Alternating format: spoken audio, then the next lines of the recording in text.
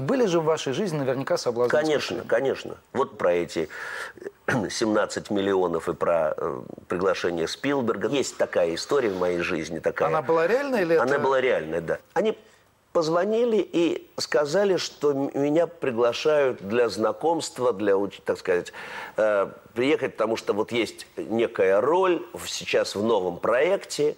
Я говорю, да, вы знаете, это мне очень там э, приятно, но я не могу, потому что это не входит уже все, у меня составленное расписание на мой там все. Короче говоря, у меня елки, вот понимаете, да? Да, да, да. Они решили, что они имеют дело. Я думаю, что я был первый и последний человек, который отказал сразу, так сказать. Ну, все-таки. Они стали мне объяснять, кто такой Спилберг. Я говорю, да я очень его люблю. Я... Хотите, я вам назову все фильмы, которые он снял? Я, я просто могу водить экскурсии по его творчеству. Тогда они назвали вот этот гонорар. Они сказали, что вот это... 17 миллионов долларов? 17 миллионов, да. Тогда это стоило... Я зашел к нашему... де- Я, короче говоря, я очень быстро им объяснил, что я не буду.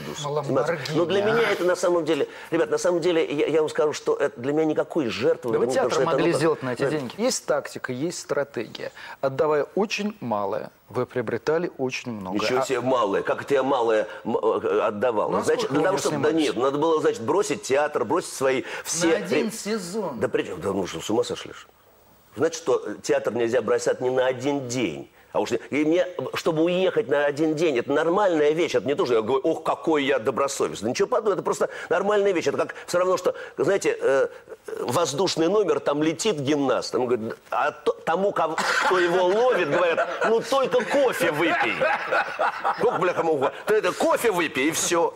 Ну, ну, понимаете, это нельзя делать. То, что было хорошо, становится плохо в одну секунду. Вот только отвернулся, э, уже плохо. Да как? Было же хорошо. Нет. Это постоянная борьба за качество. Постоянная.